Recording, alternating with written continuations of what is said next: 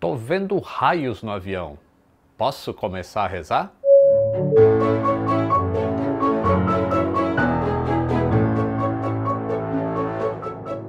Saudações aeronáuticas, tudo bem com vocês? Hoje a gente vai falar sobre um fenômeno físico que assustou muitos marinheiros no passado e continuam assustando algumas pessoas o tal do fogo de Santelmo. Um aviso importante. O YouTube mudou a maneira de notificar os vídeos para quem é inscrito no canal. Quem não dá like não recebe a notificação, então se você gosta do conteúdo, já deixa o seu like aí, aperta o sininho novamente para receber o conteúdo. O sininho tem que ficar desse jeito aí, ó. Deixou o like? Podemos continuar? Então vamos lá. O fogo de Santelmo é isso aqui, ó. Percebam que é uma descarga elétrica constante, não é a mesma coisa que um raio. Isto aí é a mesma coisa que uma lâmpada de neon, só que sem o tubo para proteger, né? Sabe o neon que fica brilhando assim naqueles bares? Então, o fogo de Santelmo acontece quando uma corrente elétrica altíssima afeta um gás, que no caso é a nossa atmosfera, né? Durante tempestades com raios, quando o chão, abaixo das nuvens, está eletricamente carregado. E tem uma grande diferença de potencial entre as nuvens e o solo. Como vocês deveriam saber, o ar é um péssimo condutor de eletricidade. Mas essa alta voltagem praticamente, é, como é que eu posso dizer, separa as moléculas de ar e o gás começa a brilhar. É, isso acontece quando a tensão chega ali por volta de 30 mil volts por centímetro. a menos que haja uma superfície pontuda, né?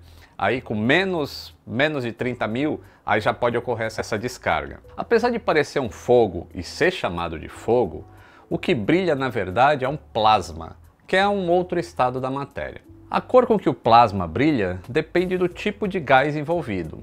Como a atmosfera que a gente respira é cheia de nitrogênio e oxigênio, o santelmo tem uma cor meio azulada, meio violeta. Mano, eu, eu quase entendi esse bagulho aí, mano, mas é, por que que se chama fogo de Santelmo, hein, mano? Então, mano, algumas vezes em noites de tempestade, dá para ver o topo do mastro dos navios brilhando como se fosse um fogo. Eu mesmo já vi acontecer em postes de iluminação. E hoje se sabe do que se trata esse fenômeno. Só que no passado, quando as pessoas eram um pouco mais ignorantes do que hoje, né, não tinham tanto conhecimento científico, eles, por exemplo, acreditavam que a Terra era plana.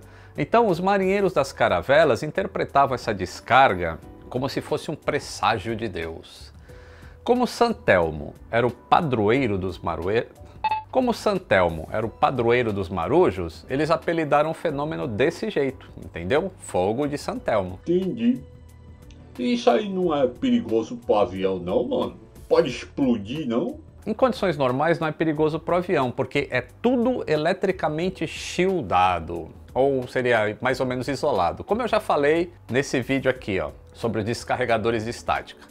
Mas claro que existem condições em que pode não ser uma boa ter um fogo de Santelmo, como nessas imagens aí, ó. Isso é um Boeing 747 que está em processo de ser reabastecido em voo. Só que está havendo fogo de Santelmo entre a sonda e o jumbo. Então, um vazamento de combustível aí seria meio inconveniente. Mas perceba que logo que a sonda se acopla na entrada de combustível, o diferencial de tensão se equipara e aí o fogo desaparece. Tenso, né não? Mas é isso aí, moçada. Não esqueçam de deixar o like para receber a notificação, hein? Grande abraço e até o próximo vídeo.